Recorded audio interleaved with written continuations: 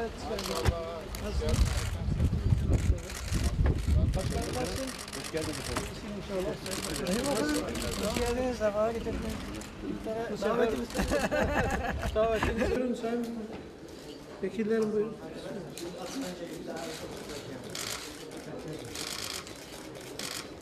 Buyurun.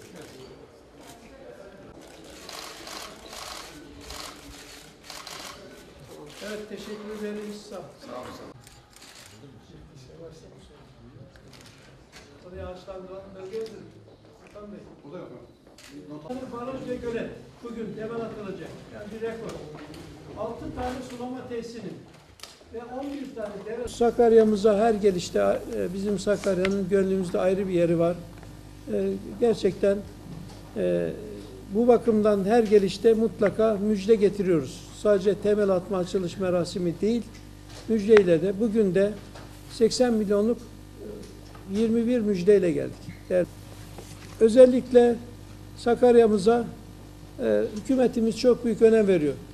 Şu ana kadar 14 yılda 16 milyon milyar TL'lik yatırım yapıldı. 16 milyar TL. Şimdi burada tabii Sapanca'da su var, bir sıkıntı yok ama e, gelecekte tabii herhangi bir risk altında olmamak açısından biz bütün şe- şehirlerimize en az e, bir tane yedek e, kaynak e, inşa ediyoruz.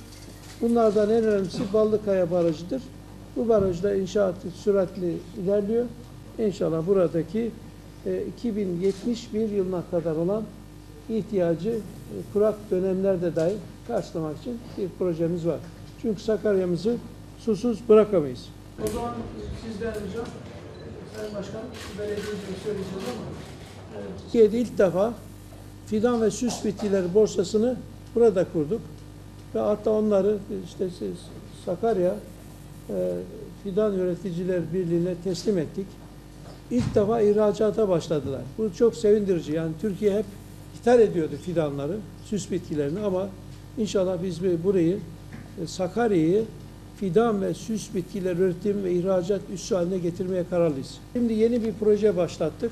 Sayın Cumhurbaşkanımızın talimatıyla 5000 köye 5000 burada tabii mahalle, büyük şehirlerde mahalleye, orman mahallesine 5000 gelir getirici e, özellikle orman kuruyoruz. E, burada da e, sayfa 32'ye bakarsanız Akyazı'da, Pamukova'da, Geyve'de, Taraklı'da, Karasu'da pek çok yer- yerde e, ceviz ve badem e, ormanları kurduk ve bunları vatandaşlara hatta ormanlık alanlara e, dikiyoruz. 3 yıl bakımı bize ait.